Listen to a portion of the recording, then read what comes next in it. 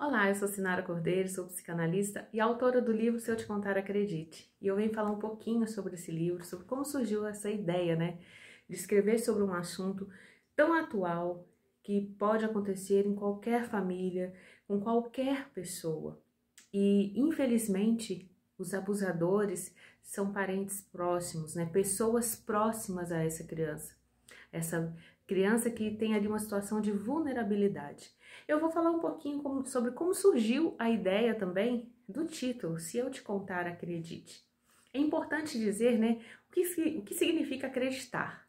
Muitas vezes as pessoas acham que acreditar é aquela forma literal, eu acredito em você, e você nunca fala mentira, ou então aquela dificuldade. Ah, mas a criança ela é muito fantasiosa, ela inventa mentiras. Então isso aí, até que ponto uma criança pode inventar uma situação onde ela está sendo agredida fisicamente, sendo abusada sexualmente? Então eu venho aqui falar com vocês que é muito importante. E, em primeiro lugar, e eu quis destacar aqui nessa, nessa ilustração que foi feita pela Bruna Casarini, sobre o monstro que a criança enxerga e o verdadeiro monstro que a criança precisa enfrentar. Esse monstro aqui nós ensinamos aos nossos filhos desde pequeno a lutar contra eles, a vencer. Come para você ficar forte e você ah, você está com medo, mas você não é forte. Você consegue vencer, você não precisa ter medo, você é corajoso. Então a criança entra no mundo de faz de conta onde ela consegue realmente derrotar esses monstros. E ela vence, ela derrota e ela se sente ali vitoriosa. Então eu coloco aqui no primeiro capítulo, né, já nos primeiros capítulos, como que o João lida com esse mundo de faz de conta, né? Ele brincava de super-herói, que desvendava mistérios, ia atrás de bandidos e os prendia. Ele criava um mundo somente dele, gostava muito do que encontrava lá carregava pedras porque se sentia forte. Aliás, era forte, era assim que ele se sentia. Todos os dias era assim, a sua mãe o observava de longe, pois sempre estava repleta de afazeres domésticos. E João ficava o tempo todo conversando, alegre e falante.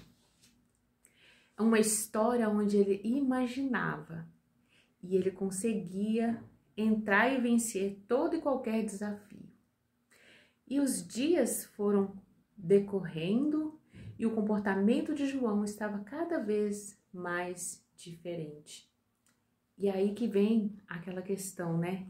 O monstro real, aonde a criança não consegue mais, não tem habilidade para lutar contra ele. Como lutar com uma, contra uma pessoa que no meio ali onde ele está inserido é uma pessoa boa, é uma pessoa prestativa, livre de qualquer suspeita. E na história, o tio Alonso ele vem com essa com esse comportamento, né? ele ajuda essa família, ele pega ali uma aptidão, né? Um, um, uma habilidade que a mãe de João tem de, de produzir ali bolos, pães e transforma aquilo ali num grande comércio ele tem esse perfil de convencer as pessoas a comprarem, a, a, entender que aquele produto é bom. Ele é um verdadeiro psicopata, né? Ele tem esse dom desse convencimento. E, só que ele usa, né, com, com uma certa crueldade também desses benefícios, porque ele se aproxima mais de João e ele começa a tocá-lo de uma forma diferente. E aí é onde João sente esse desconforto ele fica incomodado com a presença de João, de, do tio Alonso. João fica incomodado com a presença do tio Alonso. E muitas vezes, sempre quando o tio Alonso estava no mesmo ambiente, João ficava introspectivo, não conversava. E às vezes, quando ele era forçado a acompanhar esse tio a alguma entrega, o tio sempre fazia questão, né? E o tio fazia aquele joguinho de sedução, ah, mas ele é muito mimado, quando crescer não vai querer tocar os negócios da família. Vocês estão educando e criando uma criança, né, um menino preguiçoso.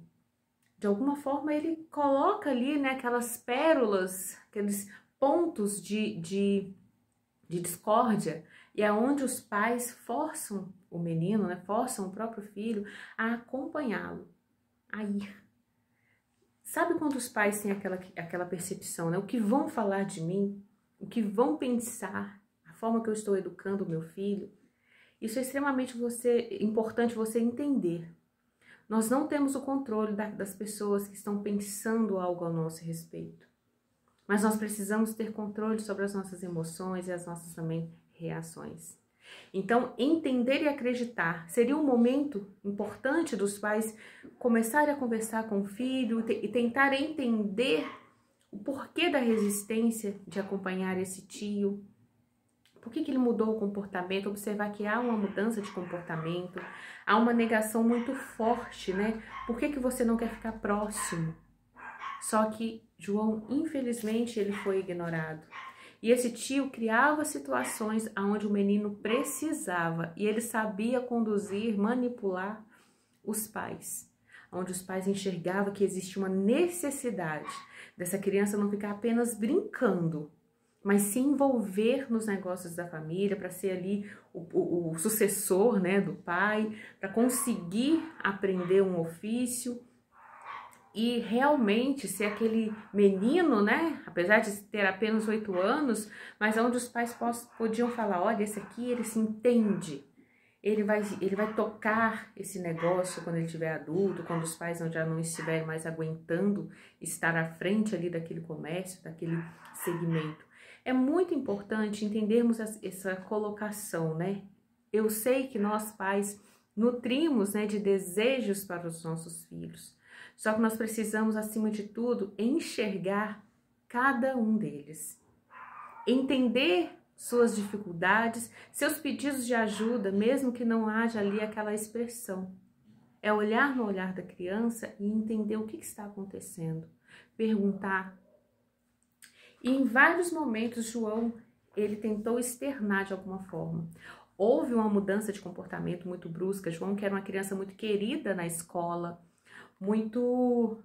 É, é, conversava com todo mundo, sempre brincava, ajudava, contava histórias. De repente, ele virou uma criança apática, agressiva, um comportamento muito arredio, né? Muito. As pessoas chegavam para conversar com ele, ele brigava. E os professores tentaram fazer essa, é, essa escuta né, com a família, e a família apenas indagava: olha, ele está realmente com um comportamento muito difícil, é uma criança muito mimada, porque tem tudo. E aí, nos momentos onde ele se demonstrava de uma, com uma agressividade muito intensa, João ele foi, ele recebia diagnósticos um pouco tanto equivocados. E olha como é importante, né? Você ter uma escuta. Ele estava falando o tempo todo o que estava acontecendo com ele, mas ninguém acreditou naquele comportamento. Ninguém acreditou no que ele tentava dizer. E aí, isso foi fundamental para que Alonso concluísse o seu desejo, né? concluísse de uma forma muito, muito cruel aquele abuso. Então, no capítulo 5 tem gritos de socorro em um silêncio. É onde eles realizam, né? Alonso cria uma situação visando o bem-estar dessa criança. Olha, tem um hotel fazenda, ele vai ficar bem, ele precisa disso, em contato com a natureza. E os pais acreditaram. Os pais acreditaram que seria realmente muito bom. Seria se fosse com uma pessoa segura. A criança gosta desse contato com a natureza, com os animais, piscina. Só que João pedia: não deixa eu ir com ele. Eu não quero ir. Só que a manipulação de Alonso era muito forte. E os pais forçaram João a ir nesse passeio. E lá foi onde tudo foi concretizado de uma forma cruel as pessoas em volta, quando João fala, um grito, esse título é um grito de socorro em um silêncio. Quem sofre abuso sexual, eles tentam emitir esse grito de socorro, só que só escutam um silêncio. Muitas vezes as crianças, as meninas, né, os meninos também, e eu quis colocar esse, um menino porque o abuso acontece também com os meninos. E mais ainda, se com meninos já existe um silêncio, com meninos o silêncio ainda é maior. Então é extremamente importante buscar entender essa angústia, olhar, um olhar atento. E como eu coloquei, né, vocês que já me acompanham aqui no canal e, e no Instagram também, esse livro ele vai se tornar um filme. E é extremamente importante que todas as famílias tenham acesso e entender de que forma eu acredito no meu filho. Será que eu coloco esse filho como uma criança que nunca vai falar uma mentira? Ou eu ignoro o que ele vem falando todos os dias? Precisamos abrir os nossos olhos diante de todas as situações. Talvez seu filho não vai passar por uma situação de abuso e Deus queira que não. Mas pode ser que na escola, um coleguinha comece ali a criar um bullying, uma pessoa mais velha, e ele venha falar com você, olha, o coleguinha me bateu, estão é, rindo de mim. Como que você recebe o seu filho diante dessa angústia, diante desse ponto? Às vezes as crianças têm medo de falar o que está acontecendo, porque sabe que em casa os pais vão falar assim, olha, você, a culpa é sua, você é feio mesmo. Então se a criança já tem esse, esse receio, né? Essa fala pronta dentro de casa, como que ela vai pedir socorro? Ela vai achar, não vão acreditar em mim. Eu sou mentirosa. Meus pais não vão acreditar. Mas olha, comece a entender e a mudar o pensamento. O que faz parte do mundo da fantasia de uma criança. E o que faz parte de um pedido de, de socorro, um pedido de ajuda. E eu finalizo. Se você quiser fazer parte, né, da produção desse, desse filme, desse documentário, eu peço para você compartilhar esse vídeo, né, divulgar a todas as famílias. Você pode estar adquirindo o livro e o livro você pode entrar em contato com a gente através aqui, deixa uma mensagem. Em breve ele vai estar disponível também dentro de uma plataforma onde você vai clicar e vai, o envio será feito imediatamente para sua casa. E é muito importante que você entenda as maneiras que uma criança pede socorro, uma criança pede ajuda. E ter esse conteúdo aí na sua casa, você passar essa informação a outras pessoas, fazer parte da construção desse documentário, vai fazer você também se sentir é, pertencente nessa luta contra o combate né, ao abuso sexual infantil. E não se trata de uma pessoa longe, os abusadores são próximos à criança e sempre, na grande maioria, acima de qualquer suspeita. Então, faça parte desse, desse movimento. Tá? Nós temos aqui a vaquinha online também, que estará no link da descrição aqui do vídeo, também no link da bio lá no Instagram. E você vai ajudar com certeza muitas famílias a mudar a visão do que realmente faz parte desse mundo imaginário infantil e o que faz parte de um pedido de socorro angustiante. Eu conto com você, conto com a sua ajuda e com certeza nós juntos nós somos mais fortes.